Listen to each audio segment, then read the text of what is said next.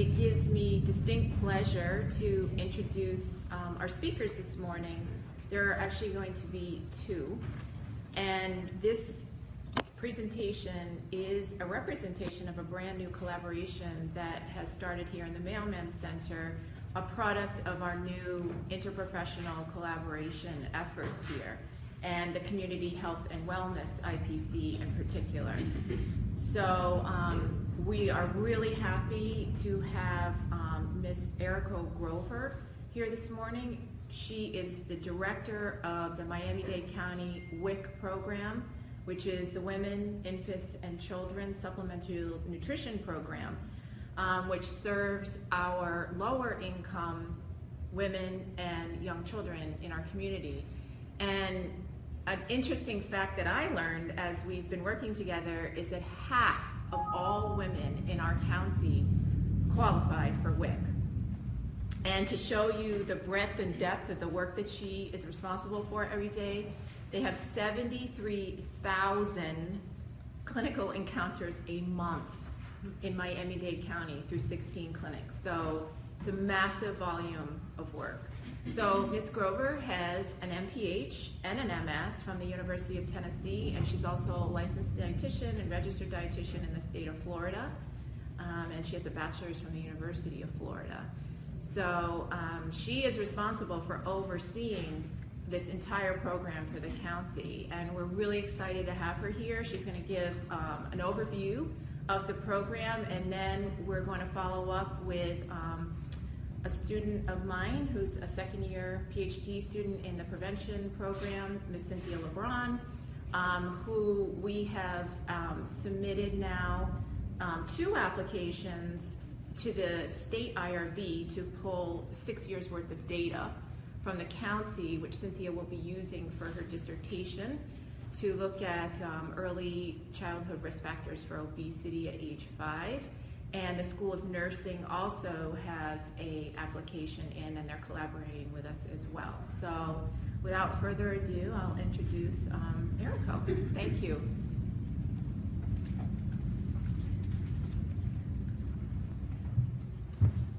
Good morning.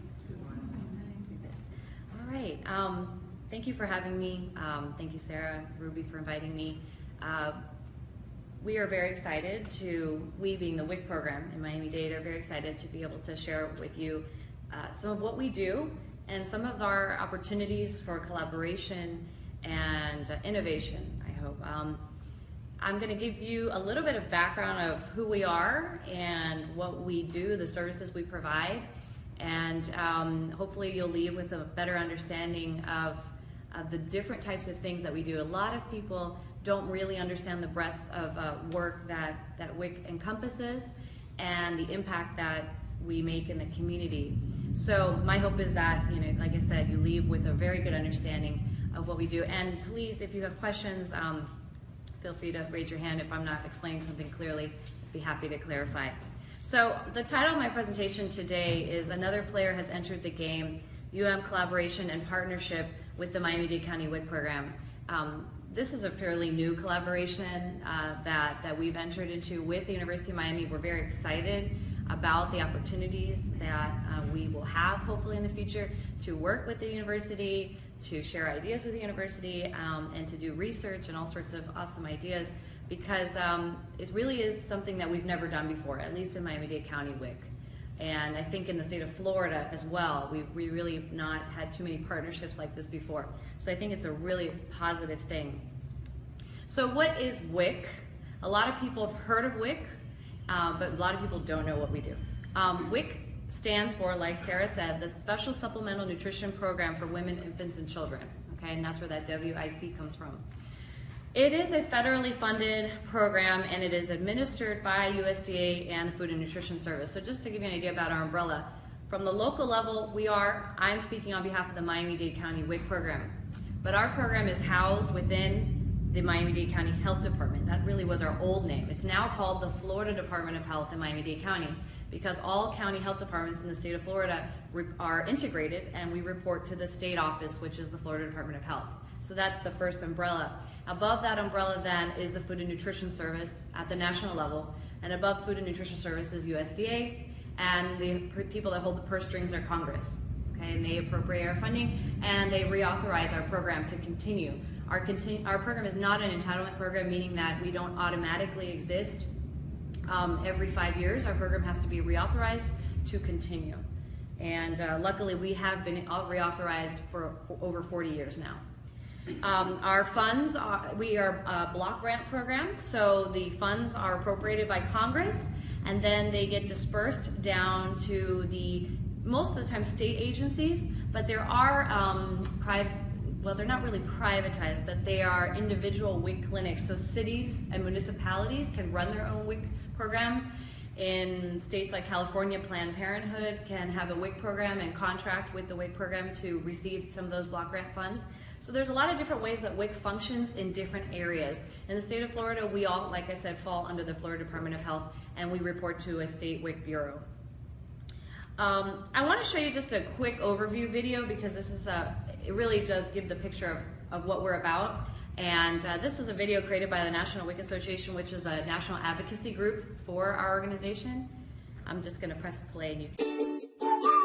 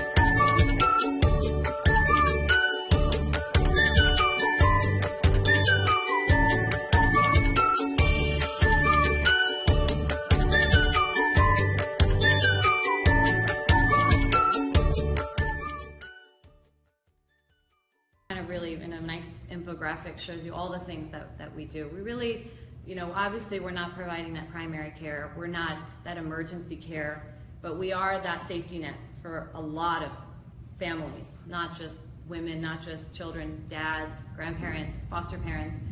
And, um, you know, we provide that little bit of extra that really helps support those families. We, we feel uh, be healthy and have healthy, you know, children. So just a little bit more detail about what we what we provide. Um, we provide healthy foods. That was the crux of why we were started over 40 years ago. Um, so essentially, we are a nutrition program, but we very specifically uh, give only healthy foods, very specific options. We are not the food stamp program. A lot of people hear WIC and think that we're the food stamp or the SNAP program. Two very different programs, uh, managed completely different under two different um, bodies and of organizations at the federal level, and our goals are very different. And so WIC is really about that healthy component. Um, we provide a comprehensive nutrition assessment to every single person that walks in our door, and I'll get a little bit more into that later. A lot of breastfeeding support. We are proud to be one of the primary figures in, in breastfeeding support and leading that movement of change that it has brought us to where we are now, which is more of our moms and babies breastfeeding. And WIC was one of the first programs to really support that. Nutrition counseling and education, again, we give that one-on-one and group counseling and education to both, you know, our regular low-risk children as well as our high-risk families, families, uh, infants and children and families with severe health issues. And a big thing that we do and a big focus of what we've been doing in the last couple years is being a referral network, um, being a place where people can get more help outside of us and linking people to the right place when they really don't know where, where else to go. So just some WIC facts. So nationwide, right now, WIC has about 8.9 million participants on our program.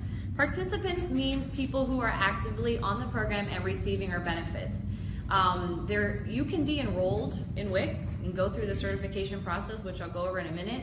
But if you're not coming back and continuing to participate, you're not considered a participant. So these are actively participating people. So actually, the number of people enrolled in WIC is higher. It's about probably 20% higher. Like Sarah mentioned, WIC serves 53% of all infants born in the US. And what that means is that at some point in a baby's life, at least 53% of those babies will have touched WIC at least once. Okay? They may not stay on the whole time, but they have been touched at least once by the WIC program. So we have such a reach nation, nationwide in our communities. And we're able to you know, touch so many people, so many families at at least some point in their life.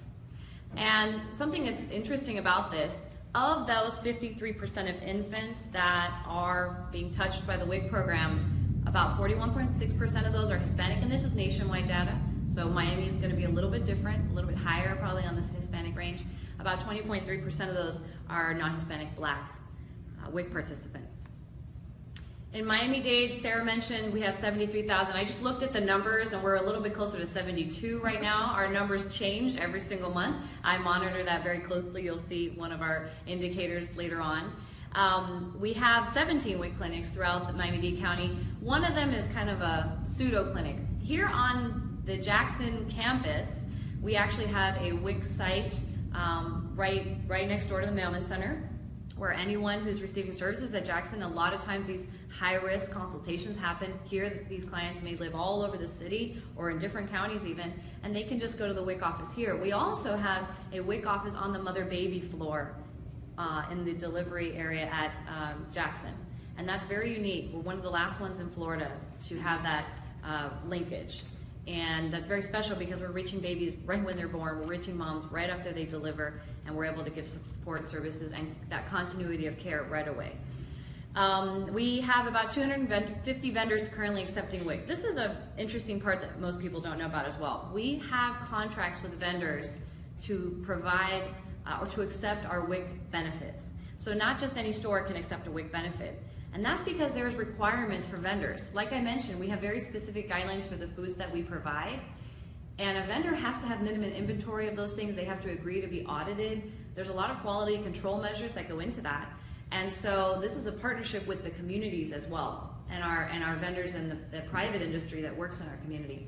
So all of the major grocery stores accept WIC, but we also have a lot of mom and pop stores and, and what we call food deserts. And these are little neighborhood corner stores that become a part of the WIC program, and they're able to contract with us and provide some of those healthy foods when maybe they wouldn't have done that before if they weren't a partner of the WIC program. Um, since I said we're a nutrition program, we have about 75 nutrition staff currently working for us here in Miami-Dade, and about 29 of those are registered or licensed dietitians. So we are really a true nutrition program, and we have that professional staff. So who is eligible for WIC? So WIC, women, infants, and children, that's pretty obvious, right? That's who you think qualifies. Women, they can be pregnant. A lot of people know that. They can be breastfeeding. A lot of people don't know that you can be postpartum um, and beyond WIC for up to six months after your delivery. You can also be postpartum mom if you've had a miscarriage or lost your child, and you can still be on the WIC program for up to six months after that loss. A lot of people don't know that, and the reason we do that is because of that interconception care. There's still a lot of care that needs to go on, especially with your nutrition, if you've gone through something like that. And so that's something we stress to a lot of members of the community that come come to us. You know, you don't just have to have a baby in your arms. Um, infants up to their first year of age, um, and then they become toddlers and they're eligible as a child to be on the WIC program up to their fifth birthday. Okay? And you must be a current Florida resident. Now, this is important. A current Florida resident means you just have to show us something that you live here. That could be a letter from the person you're living with that's signed by them that says, This person is living with me. It doesn't have to be a formal, notarized legal document. We're not, we're trying to make this easy on people who are having a hard time already. So that being said, WIC is one of the few programs that also does not ask about uh, immigration status. There is no requirement uh, to ask about that, and, and we don't we just don't ask any of those questions, and, and that's been a part of the WIC program for over 40 years. Um, and that's very important. In Miami-Dade County, most of our migrant population lives down south, and we do have migrant camps, and we see a lot of those um, women and families uh, down that way. But we also have a lot of undocumented immigrants throughout our city from various places and various nationalities. So this is something that's probably that's been in the news, and it's a hot topic for us um, recently as well. Um, to be eligible, you must be at nutrition risk. Well, what a study from the Institute of Medicine found is that every single person is at nutritional risk in this country. This was a few years ago. So basically, everyone qualifies on this. Uh, in the, I think it was in the 90s, um, if we couldn't find a risk code to give and assign you, you might not be eligible to be on the WIC program, even if you were eligible every other way.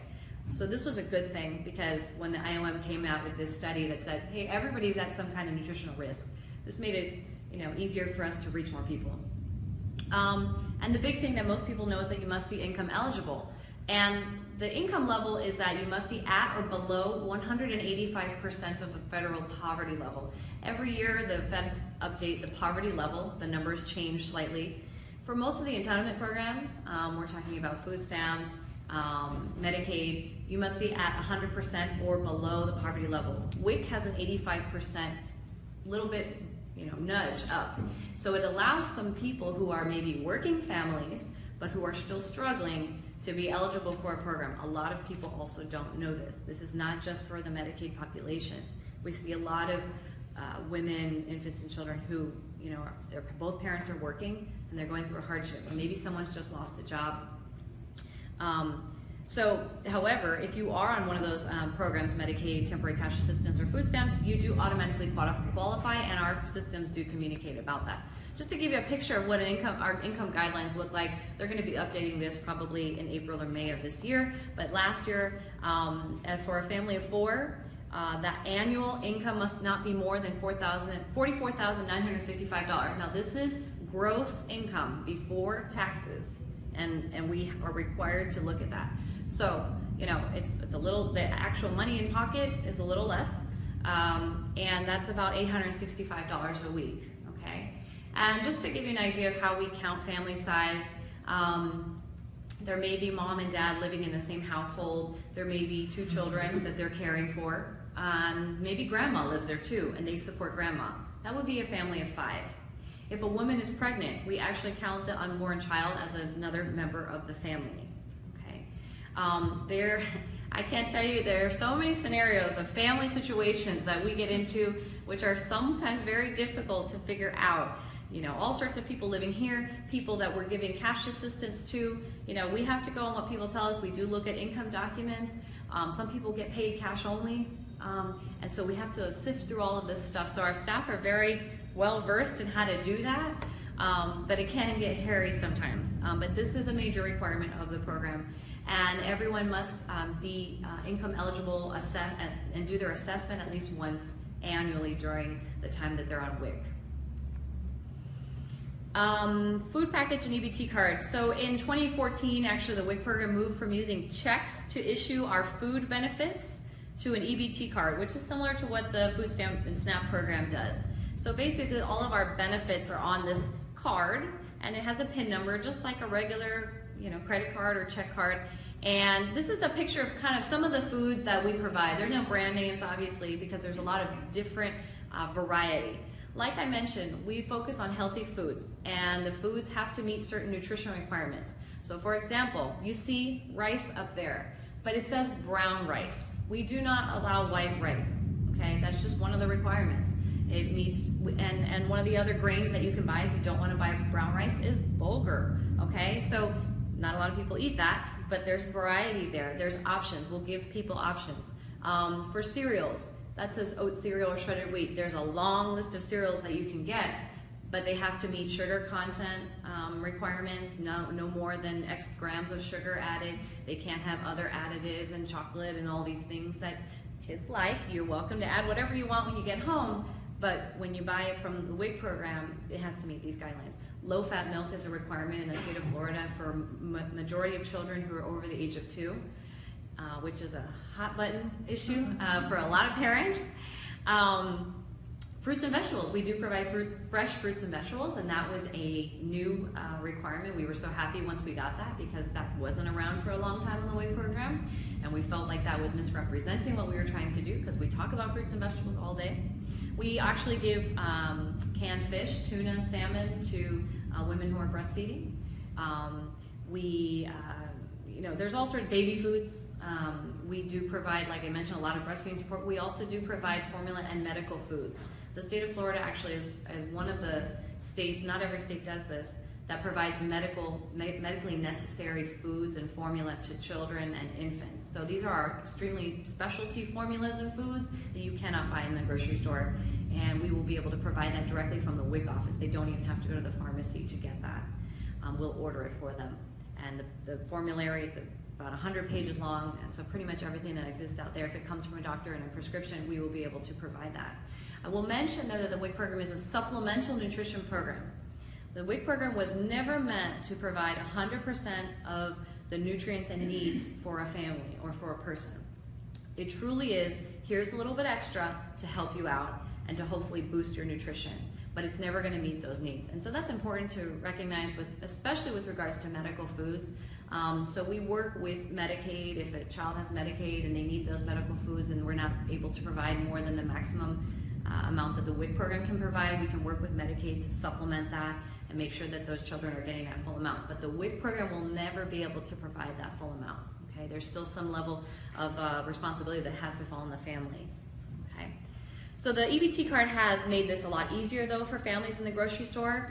Before EBT, there were checks, and the check said one and a half gallons of low fat or reduced milk, and it had all these words on it, and you had to buy all the foods on one check that were you know all listed together or else you lost it. You know there was not a lot of uh, flexibility with that and so the ebt um, system has made it a lot easier on families. Again we're trying to make things easier on people nutrition counseling and education i mentioned that we do this there's a lot of words on the screen but basically um, we have different levels of clients based on a nutrition assessment that we complete by our trained nutrition professionals uh, a person can be deemed as a low risk or a high risk client and we have a lot of codes that we use to, to determine that based on the assessment. So a high-risk uh, infant might be an infant that was born premature or low birth weight, or maybe something more serious like a congenital disease. Um, a high-risk mother could be um, one with uh, gestational diabetes. And so we'll be able to identify that based on the nutrition assessment and then provide more specialized care. If they're considered medically high risk with one of those medical conditions that I mentioned, only a licensed or registered dietitian can provide that consultation to that client. So it's not, even though we are, you know, a public health program, we're trying to influence the health of a population, we do provide specialized care to these certain people that have been identified as needing it. Okay? We set goals with our clients and we, we complete an extensive questionnaire which we review and assess with each family. Something that's important that you know um, that will relate to what Cynthia is going to talk about is we share the growth chart with our clients at every visit. So for our children, who we have a large population that is overweight and or obese, we talk about that growth chart at every visit. We print it for them, and, and every staff member is encouraged to do that with our clients. I mentioned breastfeeding. This is a huge part of our program, and it's been a huge um, priority in the last few years, even more than it was before. Um, breastfeeding promotion and support, we have breastfeeding peer counselors. This is a very unique program. We hire women who have prior breastfeeding experience to come work for us to be counselors to our moms, to help them be successful with their breastfeeding goals. And this has been an extremely successful program. It's been around for, for I think at least 10 years. And we actually get separate a separate pool of funding to support these, these moms who come work for us. And we have found that the results are just enormous and it's really that peer support that really makes a difference in a mom's life when she's really struggling or really trying to be successful at breastfeeding. We also have international board certified lactation consultants on staff to be able to provide high risk assessment and care if needed. And this is a huge um, positive as well. A lot of really, this is a, a, local initiative. Most other counties in Florida do not have this because this is not supported by the peer counselor grant. We've had to set aside our own WIC administrative dollars to be able to hire IBCLCs but we feel like this is extremely important because there's only so much a peer counselor can do. And with the scope of practice, sometimes a mom really needs a hands-on care. And unlike dietitians who you might be able to find out in the field, or maybe even pediatricians or their or primary doctors. Most people don't have a lot of professional breastfeeding experience. And when something's really going on, and a mom is going through pain, cracked bleeding nipples, um, maybe having a fever, and she might have mastitis, somebody needs to be able to help her through that because that could become a very dangerous situation. And also, it'll you know end up hampering her goals and maybe not allowing her to be successful later on with her infant at breastfeeding. So we do a lot of work with this. This is a picture of a class that um, we do with some of our infants, and we have models, and we sit the mom down with fake babies, and we show them even before they have babies what posi- positioning to do, what to consider. We even talk about delivery methods. And I really believe that the WIC program isn't just about um, you know, teaching moms how to eat right and breastfeeding and those things. It's about empowering women to make decisions for themselves and allowing them to make those decisions. And sometimes, in when they go through uh, the hospital system, they're not feeling like they have a choice. And there are a lot of options. And we talk about the things that impact things like breastfeeding. If you get an epidural, it can affect things. If you choose to do so, this is just the information. Um, you know, if you do a pacifier, that could impact your breastfeeding goals too. You should know that. Um, but then allow them, with that information, to make whatever choice um, that they feel is best for their family. And so we work with them on that. And so, and this is something that they won't get anywhere else. There's very few places where they can get this interaction. And, and this actually over here on the left is one of our peer counselors, and she actually had her infant with her. We allow peer counselors to bring their infants to work and wear them in a sling for up to a year of age. And so she was able to use her own infant to show our moms, you know, how to continue to breastfeed even through that first year, which can be very, very difficult um, sometimes.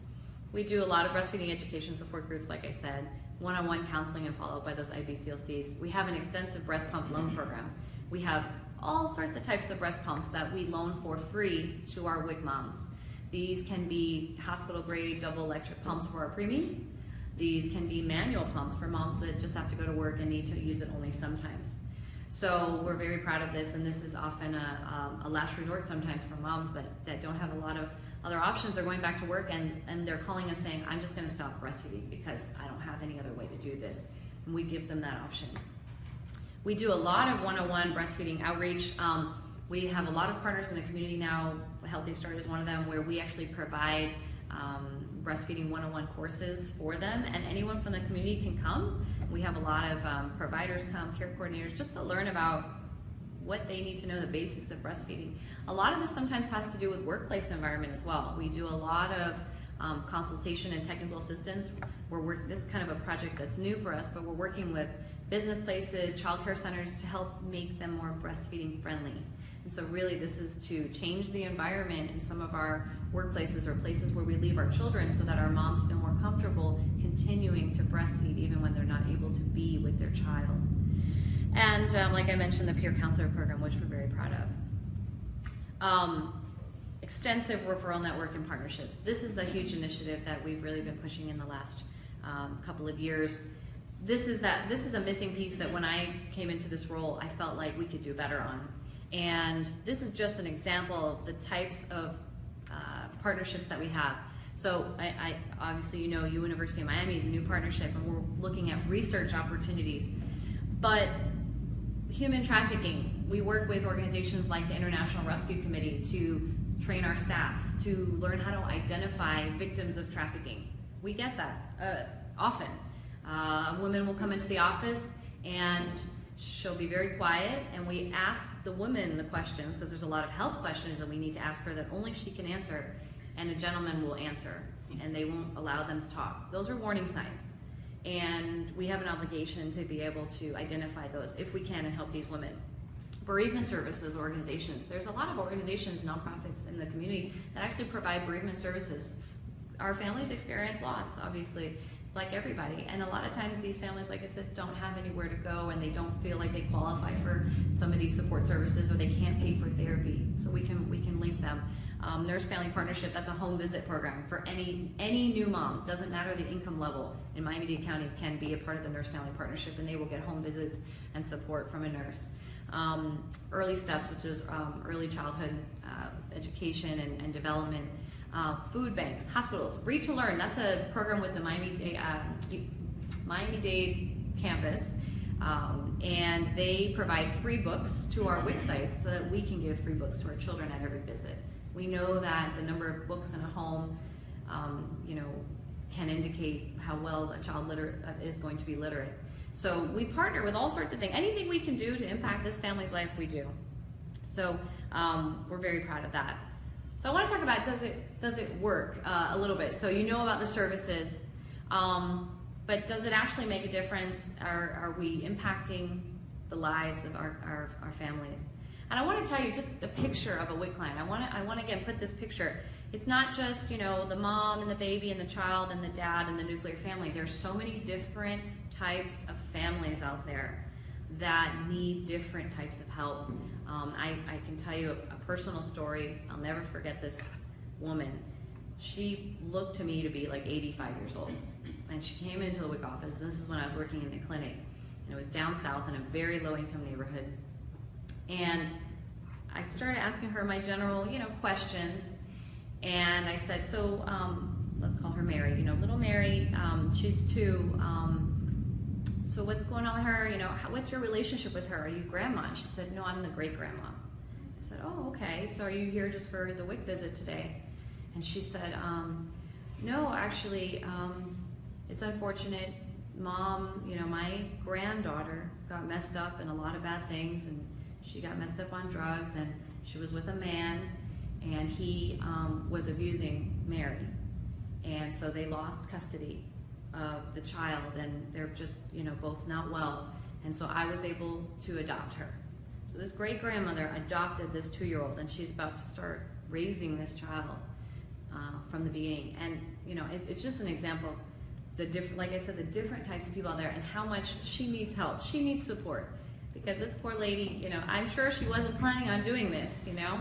This wasn't a part of her life plan and because she loved this child so much, you know, she's doing that. So we can be, you know, there for her, learn about that situation, get her to the right network of people to be able to support her.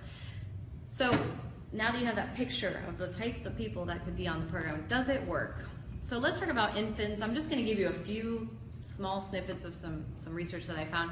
Um, this is a study that found that infant mortality is lower amongst WIC participants and especially African Americans. So this is showing the impact of WIC on infant mortality and the, the, you see here on the left all. So for WIC participants in general, doesn't matter you know race, um, infant deaths per 1,000 live births in this count, uh, community in Ohio was 8.0. But for non-participants, it was 10.6. So that's showing a protective factor there. We're showing a, an impact on infant mortality for just all WIC clients in general if they've been on the program. For white, 6.7 versus 7.8 in the general population. But look at the difference for African Americans, 9.6 versus 21.0. That is substantial. And this isn't just one community, um, but other many other studies have found the same impact at different varying degrees. And I think that's really very, very important, and, and it really shows, you know, the impact that we can make, especially if we get a mom in early. And also, oftentimes, if we get the family going on, I, we used to have paper charts, and there were some families that were, had charts this big because there were generations of moms and grandmas and children that were coming through, and we would see them. We kept all their records in the same chart, and I found that amazing. Um, and that's a testament to the longevity of, of our program and, and, the impact that we can make over generations. This is a, a, a study that was looking at how um, consumption was impacted of fruits and vegetables, of healthy foods amongst WIC participants. In 2012, I mentioned fruits and vegetables. That was when the WIC food package changed and they introduced fruits and vegetables. They changed um, a lot of the other food guidelines and really improved them. And that was all based on an IOM study as well. So what this is showing that in Calif amongst these California WIC participants, um, they did a survey with them and they asked them some questions. Does your family eat more whole grains since we changed the food package? Do they drink more lower fat milk? Are they eating more fruits and vegetables? Are they consuming fruit more frequently? And you'll see that all of those, the, there was a significant percentage change, especially at the whole grains and the milk level. Maybe a little bit less at fruit and vegetables, because that's a difficult one that we always have a hard time impacting. But you see there's an impact there. 51% said we're eating more whole grains just by having those other options in the WIC food package that didn't exist before. So people are making changes in their diet, in their nutrition. this is going to relate a little bit to what Cynthia is going to talk about, but you know, where are, where are clients getting information? Sometimes you know we, we know in WIC we give a lot of information, but are, is it really useful to them? Are they really valuing it? Do they value it as, as much as what their grandmother gives them, or their neighbor, or their doctor? And what this is showing is that the majority of people are getting feeding information, 66% from their doctor or health professional. But when we surveyed them, the second highest number was the WIC site. Okay, so we're right there next to their doctor or health professional. We're that second person that they're going to go to and ask some of the questions that they may have asked the doctor, maybe they didn't. Maybe they maybe they didn't have enough time, maybe they didn't feel comfortable, maybe they just didn't have it on their mind then, and we're that second opportunity to get some questions answered. And I'll tell you, we get a lot of um, since we ask very specific questions about nutrition, we'll get a lot more answers than maybe the pediatrician would at that time. You know, we ask, do you put things in the bottle? I can't tell you how many times somebody says, oh, I put cereal, or oh, I put café con leche. You know, in Miami we get a lot of that. Okay, now that's an opportunity to talk about this, okay? But if I had never asked that specific question, she wouldn't have told me, okay? Or we ask questions about pica, you know, or um, do you find yourself craving some of these non-food items? And we can talk about that, but no one else is probably asking those very specific questions. Um, family members rank high too, but you know that was very impressive to me. About we we are considered a reputable source to these families. Um, this is similar, and this is related to breastfeeding. And this was um, the percentage reporting breastfeeding problems in the last month who received help by source of support. So again, that source of support. Where did they go at month one, month three, and month five of breastfeeding? If you look again, WIC office or clinic, month one, 45.7% are talking to us, 54.7% at month three are talking to us, 51.6% at month five are talking to us. I think this is important because actually we're getting more moms talking to us at the later months when maybe, you know, everybody knows breastfeeding is hard in the beginning, but who's supporting them as they go on? It doesn't always get easier, and there's always new challenges that come up. And we're there for them through the entire first year with breastfeeding support when maybe other places are not. And again, that breastfeeding support is free, which is very hard to find. Um, again, this is another one about food packages, and this is about impact in our grocery stores, in our private vendors, okay? When we changed the food package, how did that impact their stores? Remember what I said earlier, they're required to have minimum inventory. If they decide to be a part of the WIC program, they have to have a minimum inventory of specific food items because we want to make sure that our clients aren't going to be running around all over the county to try to find what they want. So we want to make it easy for them. So this is in a small store, I think in Connecticut, or small stores, and they have a healthy food supply score, and this is based on a score that the study used um, to assess um, if they had the healthy foods or not.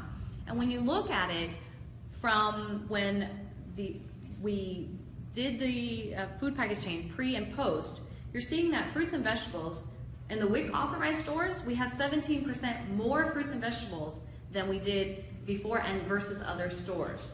Look at tofu soy milk. This is a big one. This was a new thing that was added. Soy milk, we didn't have that for many 30 plus years, but now we do. And Florida doesn't have tofu yet, but we hope to have it soon. But 100% had that, okay? Versus the other stores, the neighborhood corner stores, and those food deserts that didn't. 17% only had those.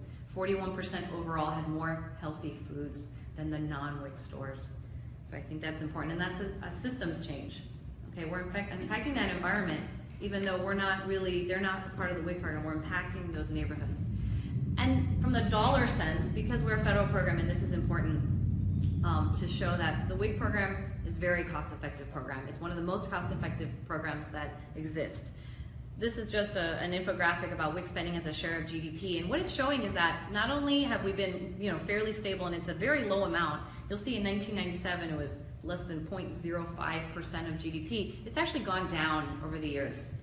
And that's important because we have been a stable program and we have a lot of cost containment measures in the WIC program that have allowed us to be financially successful and not place a large burden on the federal government budget. So, in, kind of in closing in my part, I want to say that WIC works. Um, I believe that it does. And this is a picture of the socio-ecological model and I think what I've what I've said today is that you know WIC, WIC hits a lot of different parts. Public policy, you know, at that national level, there's a lot of advocacy going on from the WIC program, from the National WIC Association to keep WIC around because of all of the data and the research that shows that we are a program that really makes a difference. At the community level, obviously, we mentioned those grocery stores, changing food deserts, um, just by having some WIC vendors when there might not be any other stores there. And we also contribute to the income of the community. In Miami-Dade County, we contribute over $40 million annually to the economy, just from the benefits that are cash in the stores, okay? Organizational, we work with all of our partner organizations. Interpersonal, we, we encourage our family members, you know, our families to bring their family members to appointments. Let's bring grandma, because I guarantee you, grandma's providing her a lot of information. Grandma needs to learn too. Let's educate the entire community and, and the family. And at that individual level, that's where we work with our IBCLCs and our nutritionists to make impact on their behaviors. I just want to briefly mention some data and talk about the relationship with uh, the University of Miami and opportunities that may exist with other organizations as we move forward that we're very excited about. We track lots of data. The WIC program has tons and tons of data, data-rich program. But I'll tell you that until very recently, we haven't shared a lot of this data.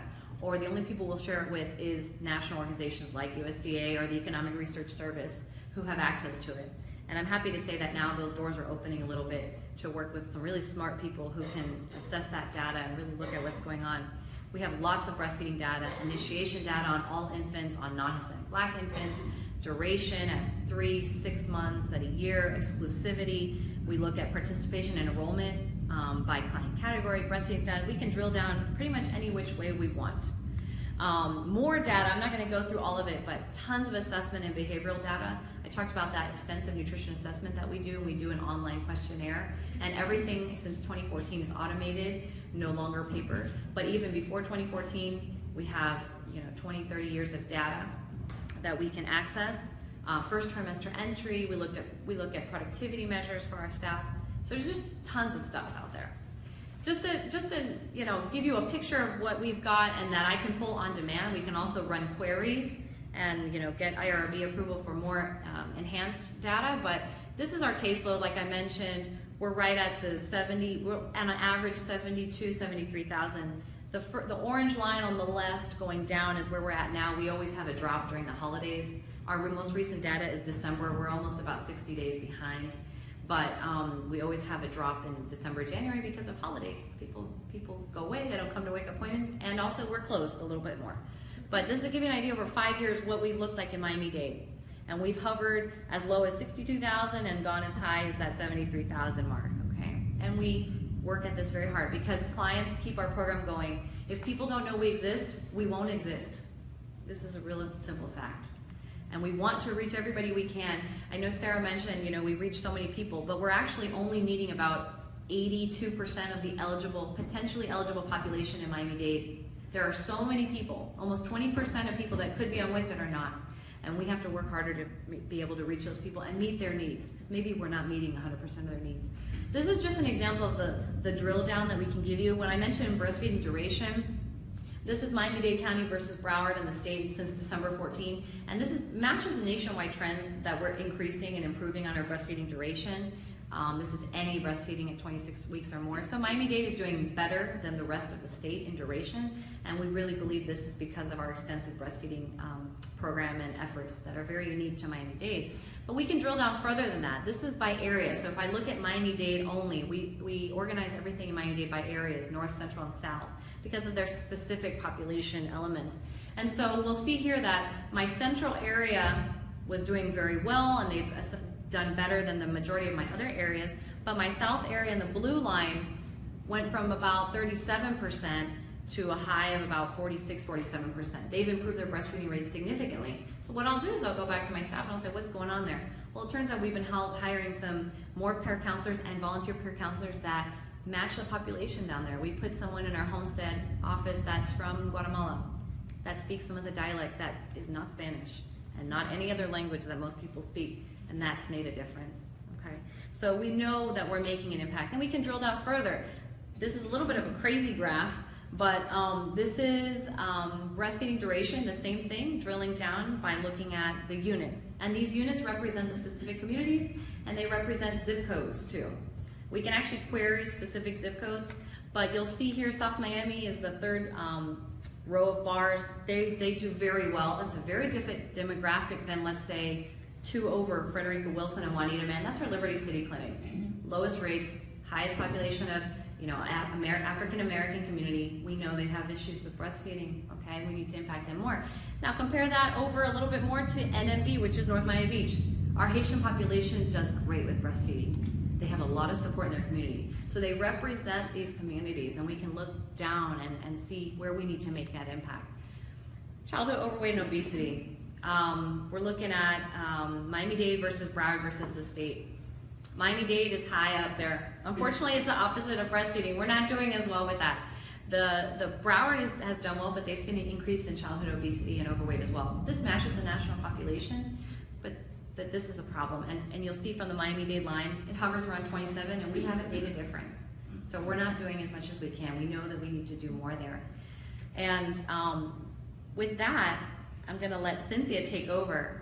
Um, but I, again, I, I, I, wanted to stress that we have so much information and we're so eager to share it and we're so eager to hear your ideas as well. And I, I just want to say thank you so much for letting me speak about the WIC program. Thank you.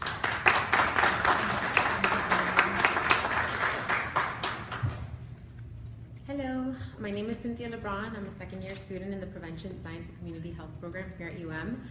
Um, recently, um, maybe a couple months ago, I was sitting at the IPC meeting and um, we got to meet Erica Grover and she presented all of this amazing um, information and all of us around the table were just salivating at the idea that there's all this data that they are um, uh, collecting and then that really nobody has looked at some of these things that we're interested in.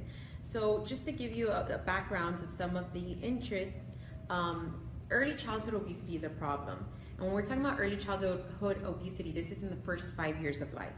So one in four children are overweight or obese, but when we're looking specifically at two to five year olds, a health disparity exists among the different um, racial and ethnic minorities. So Hispanics have the highest rates of obesity, and again, this is specific to two to five year olds. 15.6% of Hispanics, 10.4% of non-Hispanic blacks, and then only 5% of Asians and 5.2% of whites. So you can see how big those gaps are. Um, what's important to know is that children who are overweight during these early childhood years are, are at least five times more likely to be overweight or obese as adults. Um, so it's really important that we get to them at this like crucial, critical period. Um, there's also higher prevalence estimates of obesity among ethnic minority groups that's often underscored by lower socioeconomic status. So what are some of the risk factors that contribute to these huge disparity gaps? Well, there's a huge long laundry list you can see. Um, gestational weight gain, maternal smoking, um, breastfeeding, sleep duration. The good thing about this is that WIC is often, uh, WIC is um, collecting data on all of these risk and protective factors. So we can look at some of these things and see how it affects the families in our community. So it shouldn't come as a surprise that there's a health disparity in those risk factors. So studies show that Hispanics and non-Hispanics, blacks, are often disproportionately affected by this higher prevalence of gestational diabetes, non-breastfeeding exclusivity, poor bottle feeding practices, and very early introduction of solid foods, and, um, and television sets in ch children's bedroom. The issue is that we really don't know how socioeconomic status um, affects that relationship of race and ethnicity among these different risk factors. So the reason we don't know this is because there's a huge scientific inequity in our current literature. Um, we know that all of these um, risk factors, uh, we know about all these risk and protective factors for childhood obesity, but the problem is that most of these um, studies are taking place in high income populations with predominantly non-Hispanic white participants. So we don't know how all of these things affect different um, racial and ethnic minorities and how SES plays in them, just because we haven't done the science there yet. Um, so it's, it's important to note that 44% of um, U.S. children are currently li living in low economic environments and another 22% um, are living in poverty. So this makes it really pertinent to investigate these early life risk factors for obesity that could lead to chronic morbidity. So I'm not going to harp on, on WIC because Erica did such an amazing job at presenting this.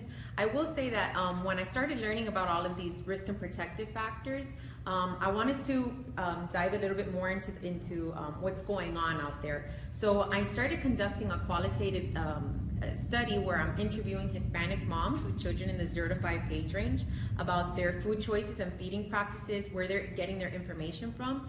Um, and I've been getting uh, the most, the, the, the, themes that are coming out of that are um, their doctors, moms, other moms, uh, their own moms, friends, things like that. Um, the internet and, and largely um, I've been getting a lot WIC. So it's really, um, it's really, it, it, goes with the, the quantitative data that, that Erica presented, and it shows that um, we have an opportunity to really um, get information from these, on, these parents on the things that are missing in the literature right now. So we're gonna be conducting a um, oh, I'll be doing my dissertation with, uh, mentored by Dr. Sarah Messiah, and we'll be, we're going to be looking at this data um, from 2011 to 2016 on the, the WIC data to look at some of these risk and protective factors through pregnancy and early childhood and see how it affects childhood obesity at age five. So specifically um, in the perinatal stage, or, or, excuse me, in the prenatal stage, we'll be looking at um, the, the number of mothers who develop gestational diabetes and how that affects how likely children are to be at a healthy weight at age five.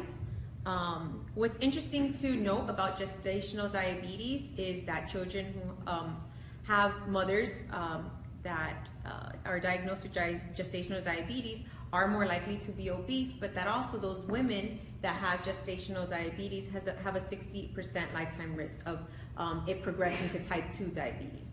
So we see these like dual impact risks.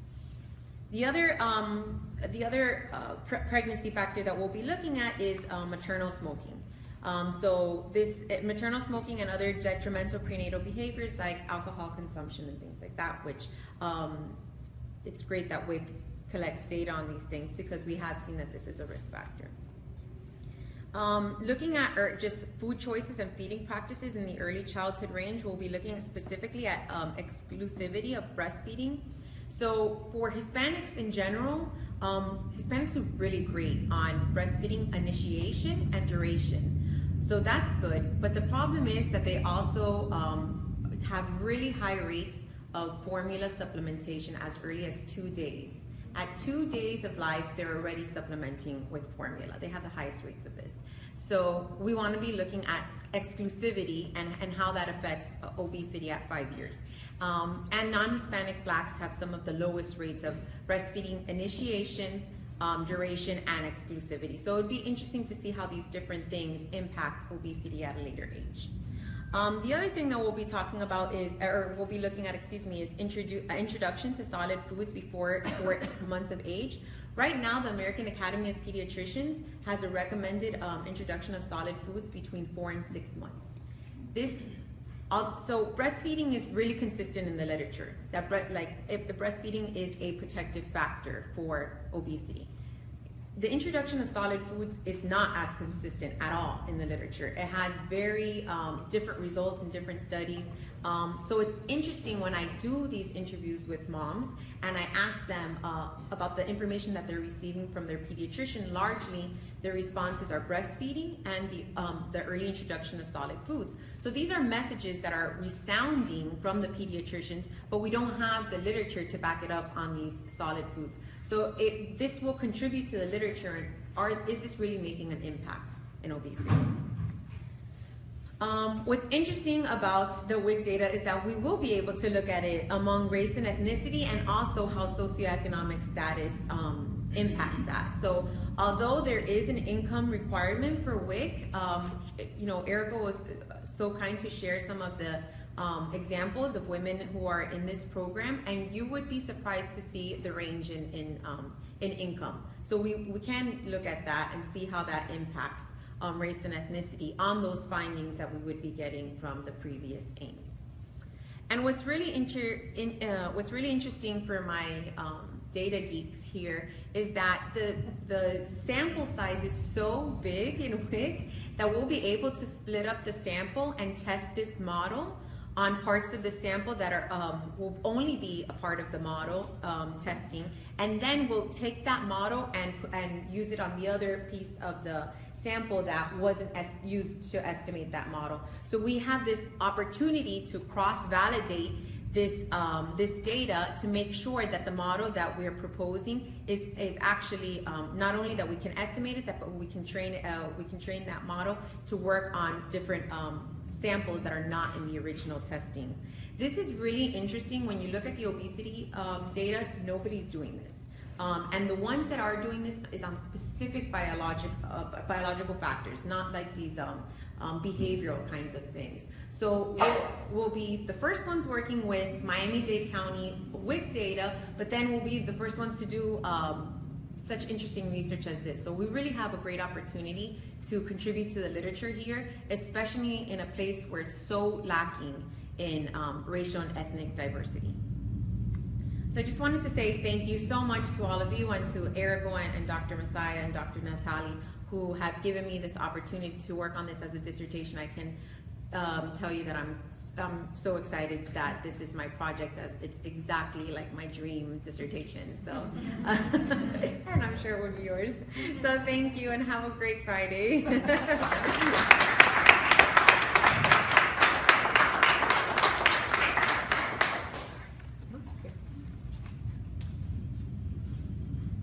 We um, a few minutes left. Did anybody have any questions for um, either Erica or Cynthia?